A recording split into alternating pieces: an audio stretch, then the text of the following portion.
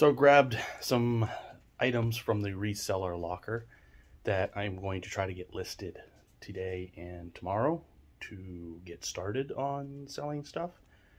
And uh, as you saw in some of the other videos, or will see in some of the other videos, uh, a lot of electronics where I'm hoping to make the money from at least to, you know, the, the break-even money and then get into profits. And then everything else in the locker starts hitting as profits. But so I'm going to turn the phone. I don't know if that's going to mess things up in the So we got a Kenwood multi-compact disc player. All these I have to test and make sure they're working. Sony 5-disc player. Sony Hi-Fi Stereo VCR. Got a Sony 5-disc changer over here. Optimus 5-disc changer. It almost has that record player look to it. Haven't seen one of those in a hot minute. This is a nice GE digital 3-disc DVD player. Another Sony VCR. Leviatech 1000 satellite receiver that looks in really good condition. JVC, this is cool. This plays the VHS-Cs, the small compact, without having to put them in the little carriage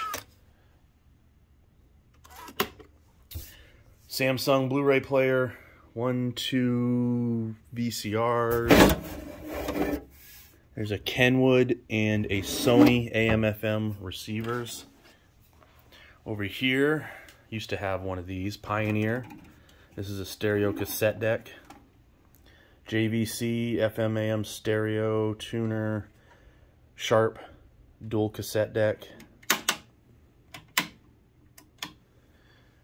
Realistic um, cassette deck.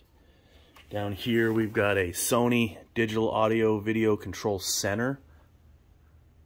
That should be a really good piece.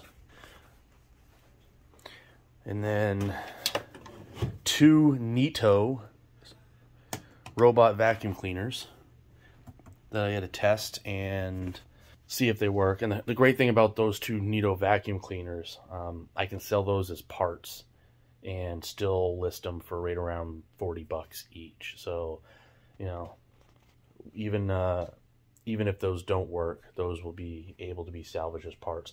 All the other stuff, I'm hoping works because I don't want to try to sell those for parts or repair uh, on eBay. They would end up being more of a yard sale. And then some of the miscellaneous stuff, we got a Mickey, that's animatronic. A Leo bank, got a little bit of damage on the uh, the piece, but otherwise in good shape. Vintage 80s Ken, I believe. Looking at his ass there. Costume jewelry, watches, belt buckles, just a whole variety of costume jewelry. This little auto bridge game that looks really cool. Vintage couple of Little Orphan Annie collector plates. Board game I grabbed just to show my son. VH, uh, VHS rewinder. We got an Eeyore and an Elmo that are some sort of battery operated that don't know if they work. Two vintage Kodak cameras. Both of them are in there with some manuals. These two Geppetto dolls that